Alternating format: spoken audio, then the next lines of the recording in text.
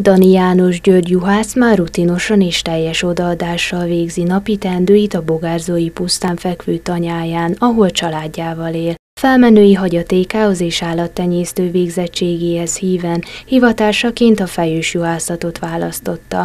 A sok-sok év kitartó munkája meghozta gyümölcsét, hiszen az országos mezőgazdasági és élelmiszeripari kiállításon is elismerték. A hagyományok, ízek, régiók, azaz a hírvédjegy használati joga illeti meg öt éven át a saját készítésű bogárzói jugomolyájukat.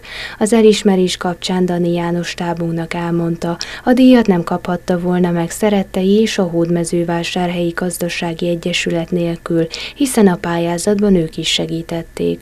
Az egyedülálló termék több generáció öröksége. Több mint 200 éves múltra visszavezethető, és nagyanyáink, anyáink, mindenki egy csinálta, én is édesanyámtól tanultam meg a fortéjait. Alapvető jugomolya az egyfajta, de az ízesítésekkel lehet ö, több ízvilágot csinálni.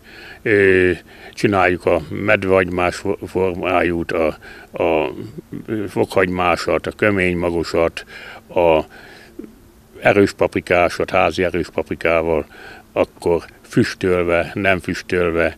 A jugomolya készítését a Kis-Ázsiából, illetve Szerbiából származó állatfajta a tejelő ciga tartása teszi lehetővé. Dani János minden nap kihajtja a nyáját, megfejű őket, a tejet leszűri és hűtőtartályba helyezi. Mindemellett még számos tennivaló akad a tanyán, mint például tisztántartás, takarmánybeszerzés, kaszálás és bálázás, de ezt egyáltalán nem bánja a birtokgazdája, mert ez egy egyedülálló életforma. Különlegesség az, hogy a természettel együtt élünk. Tehát itt a természetben vagyunk, nem a szomszéd falát, meg a tűzfalát nézögetjük, hanem itt elláttunk a horizontig. Tehát ez nagyon szép, meg esténként a csillagokat, teljes égboltot tudjuk látni.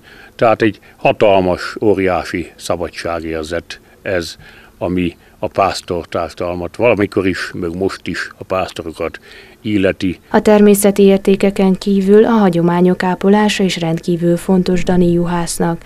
Ezért a házi sajt készítése mellett egy kis múzeumot rendezett be otthonában, azon tárgyak sokaságából, melyek nemzedékről nemzedékre szálltak.